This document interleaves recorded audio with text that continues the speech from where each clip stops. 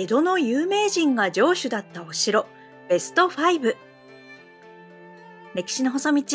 案内人の沙織です。長く続いた江戸時代江戸の町では様々な事件が起こり噂に上がった大名がいます。事件を起こしてしまった大名事件を起こされた大名幕府や世の中のためにひたすら頑張った大名もいれば私利私欲しかなかった大名もいます。今回はそんな大名たちの中から独断で5人を選び大名本人とその居城にスポットを当ててご紹介したいと思います。第5位城主は常に江戸に柳沢義康も城主だった甲府城。柳沢義康は五代将軍である徳川綱吉の長身です。館林藩士から江戸幕府大老閣まで出世し幕政を壟断した問題人物です。着手の柳沢義里は実は徳川綱吉の娯楽院ではないかという噂もありました。そのため江戸時代になってからは徳川審判大名の定位置になっていた甲府城主に。柳沢義康が起用されたことは少なからず波紋を呼びました。江戸時代からの甲府城はほぼ城主不在のお城でした。徳川審判大名時代の城主は江戸城主のため甲府で藩政を取ったことがなく柳沢義康も同様です。柳沢義里だけが短い期間ではありますが甲府城で藩政に携わっています。幕府直轄領時代は甲府常磐甲府金番により管理されていました。甲府城は山梨県甲府市にある定格式の平山城です。舞鶴城の別名があり日本百名城にも選ばれています。前述のように江戸時代を通じて幕府直轄領の期間が長期に及びますが甲府藩の藩長だった期間もあります。天守台はありますが天守が築かれたかどうかは分かっていません。甲府城は武田氏滅亡後に築城されます。豊臣時代は江戸の徳川家康を牽制する拠点の一つとして江戸時代前期は徳川審判大名の所領とされています。江戸城の半蔵門前から甲州街道が始まっていますが江戸で返事があった場合将軍家は甲府城に退避することになっていました。甲府城は天正18年1590年頃から築城が始まったと思われます。ただ領主が目まぐるしく変わり一気に完成したということではないようです。浅野長政時代に骨格が固まり柳沢義康の時代に現在に通じる姿になった可能性が高いようです。甲府城の見どころは何といっても巨大な天守台と天守台から見える富士山ではないでしょうか。関東の富士百景にも認定されています。また稲荷櫓鉄門山手渡り櫓門鍛冶屋車門内松影門漆喰塀の一部が復元され石垣の状態も良好です。甲府駅前にあり郷土の魅力を説明する気満々のボランティアガイドの皆さんもいらっしゃいます。なんといっても富士山に雪がある時が最高の景色です。近くにある武田信玄の巨漢だったつつじヶ崎館と一緒に訪れてみてはいかがでしょうか。第4位完成の改革松平定信の居城白河小峰城。白河小峰城は老中主座として江戸の三大改革の一つである完成の改革を主導した松平定信の居城です。松平定信は徳川吉宗の孫で徳川御三卿の田安家から松平家に養子に入っています。完成の改革により幕府の崩壊が50年は引き延ばされたと言われます。松平定信は清廉潔白なイメージが強かったため江戸庶民から大歓迎され当初は田や沼や汚れた御代を改めて清く澄ませよ白川の水という教科が読まれるほどでした。田沼意次の賄賂政治にうんざりしていたのです。しかし経費削減と贅沢禁止の政策が早急すぎた面がありやがて白川の清きに魚の住みかねて元の濁りの田沼小意識と読まれるようになってしまいます。白川小峰城は福島県白河市にある定格式の平山城です。白川城小峰城の別名があり東北三名城に数えられ日本百名城にも選ばれています。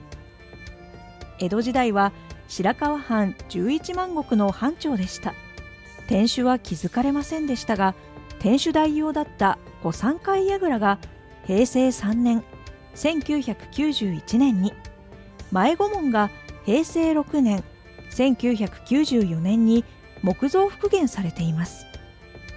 ここでは日本百名城の表記に合わせて白川小峰城と呼ぶことにしますが地元では白川城と呼ばれています。白川小峰城は長らく土塁造りのお城でした。寛永4年1627年庭長重が領主となり江戸幕府の命で3年間かけて大改修工事を行った結果現在に通じる姿に生まれ変わりました。工事は城の西側で蛇行していた阿武隈川を北側に付け替え縄張りもやり直しています。東北には伊達市上杉氏などの外様大名が多いため北側から攻めてくる敵に対しての防備が固められます。見どころとしては清水門跡を入ってすぐのところにある谷積みと呼ばれる同心円状に積まれた鷹の目石垣。戊辰戦争時に打ち込まれた銃弾跡がある木材を復元に使用した御三階櫓の内部で銃弾跡は1階の通し柱と床板2階の腰板に残っています。第3位。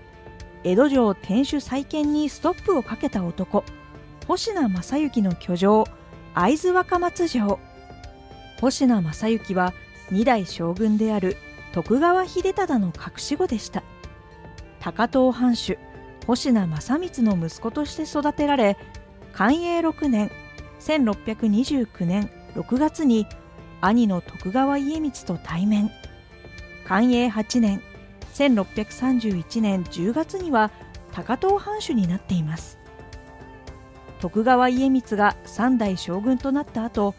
寛永20年1643年に星名正幸は会津藩主となります。姓を松平に改めることを勧められますが養育してくれた星名家への恩義から死ぬまで星名姓を通しました。正幸の死後正幸の家系は松平姓を名乗るようになり会津松平家となります。会津若松城は福島県会津若松市にある胸郭式の平城です。鶴ヶ城の別名があり日本百名城にも選ばれています。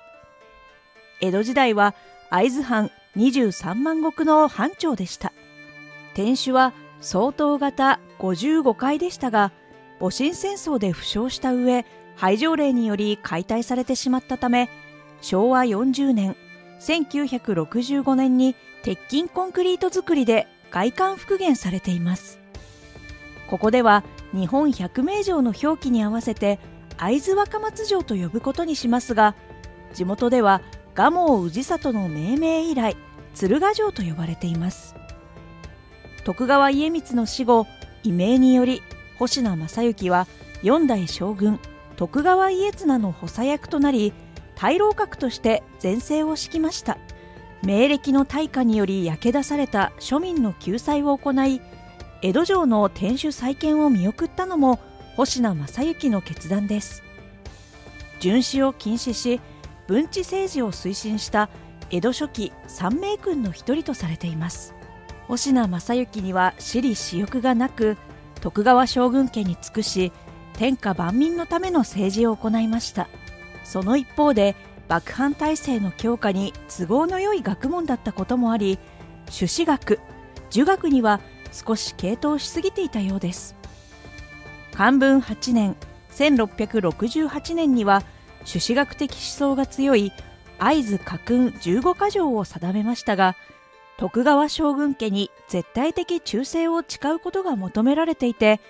これが幕末における九代藩主松平片盛の京都守護職拝命や戊辰戦争につながっていきます。会津若松城の本丸に茶室輪郭があります。天正19年1591年2月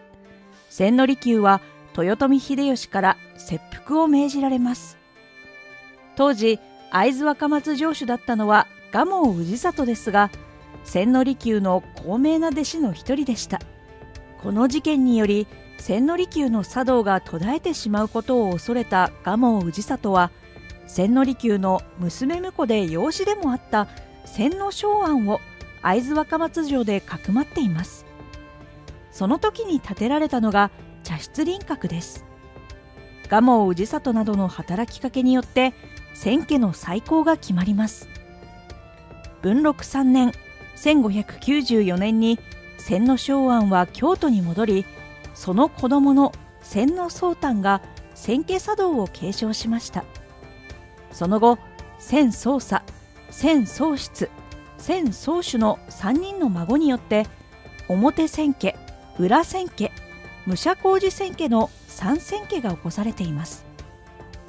茶室輪郭は会津若松城内で大切に使用されていました。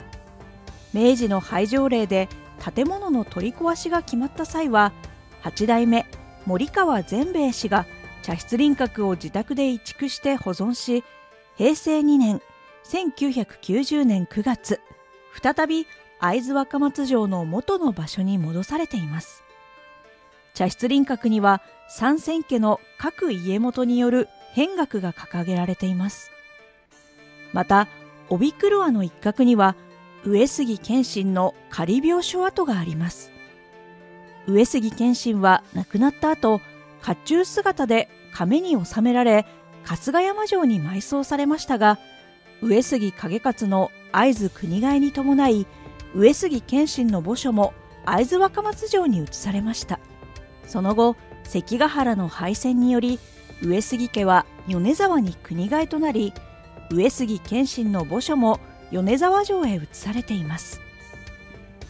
第2位忠臣蔵浅野匠の神の居城赤穂城。赤穂といえば忠臣蔵の赤穂浪士ですね。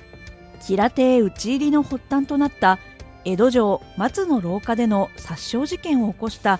浅野長則の居城が赤穂城です。江戸庶民の間では忠臣蔵の故郷として有名だったかもしれません。ちなみに赤穂の浅野家は分家筋ながら豊臣秀吉の正室だった北の万所が養女として独身時代を過ごした浅野家の血筋です。赤穂城は兵庫県赤穂市にある変形輪郭式の平城であり海城でもあります。刈谷城の別名があり天守は築かれず日本百名城に選ばれています。江戸時代は赤穂藩五万石の藩長でした。赤穂城は昭法2年1645年浅野長直が赤穂に国替えになったことに伴い慶安元年1648年に江戸幕府の許可を得て築城され現在に通じる姿になります。源名の一国一条例の後に築城された極めて珍しいお城で13年かけて工事されました。縄張りは赤穂藩士で甲州流兵学者であった近藤正純が行い二の丸の一部エリアについては赤穂藩に招かれていた兵学者の山賀祖光が行ったと言われています。山賀祖光は一旦赤穂を去りますが漢文6年1666年朱子学を批判したとして幕府大老閣の星名正幸により赤穂藩へ流罪お預けとなり赤穂に戻ってきます。吉良邸討ち入りの際大石蔵之助が山賀流の陣太鼓を鳴らしていたという説もあり赤穂と山賀祖公はいろいろな縁があったようです。赤穂城の本丸は五稜郭のような形状をしていて周りを二の丸で囲い二の丸の北側には三の丸を配し東側は千草川。現在は埋め立てられていますが南側は海に面していました。横矢係の多様や本丸門前の土橋が直進しづらいようにカーブしているのが特徴です。第1位日本を開国した江戸幕府最後の大物井伊直弼の居城彦根城。彦根城は滋賀県彦根市にある連閣式の平山城です。金木城の別名があり天守は現存12天守の一つで日本百名城にも選ばれています。江戸時代は彦根藩30万石の藩長でした。天守は複合式防漏型33階で慶長11年1606年に井伊直次が藩主の時天下武神により建てられました。天守と付属櫓付属多聞櫓が国宝に指定されています。また天秤櫓など5棟も国の重要文化財に指定されています。城の北側には玄宮園楽楽園という大名庭園も造営され実質彦根城と一体化しています。井伊直弼は彦根藩16代藩主です。日米修好通商条約の調印や桜田門外の変で教科書にも載っており日本人なら誰でも知っている人物です。井伊直弼は14代藩主だった井伊直中の14男として生まれます。直弼が生まれた時には父親はすでに隠居していて直弼の兄が彦根藩主になっていました。14男ですから出番はないと思われ部屋住みとして自ら埋もれ木の矢と名付けた小さな屋敷で32歳までの日々を過ごします。しかし無為の日々を送っていたわけではなく学問茶道和歌鼓などを極めています。埋もれ木の矢は現在でも残っていて見学することができます。彦根駅から彦根城に向かう場合はいろは松の並木が終わったところ沢口門の堀手前を右折し堀沿いにちょっと行ったところにあります。その後兄たちが竹へ養子に行ったり病死するなどして嘉永3年1850年11月直輔に16代藩主の座が回ってきました。そして安政5年1858年4月23日には幕府大老にも就任し6月19日には日米修好通商条約を締結しています。この間たったの2ヶ月しかなかったのですね。桜田門外の変は安政7年1860年3月3日に発生しています。最後に彦根城にもあった人柱伝説をご紹介して終わりにしようと思います。ただ彦根城の話は本当にあった話なのかは分かりません。結末も他のお城の話とは少し違っています。彦根城の天守を工事している時の話です。天守台はできたのですが建物の不審が思ったように進まなかったそうです。そこで現場からは人柱を使うべきではないかという声が上がります。しかし城主の井伊直次は人柱など迷信で人の命を粗末にするものではないと応じません。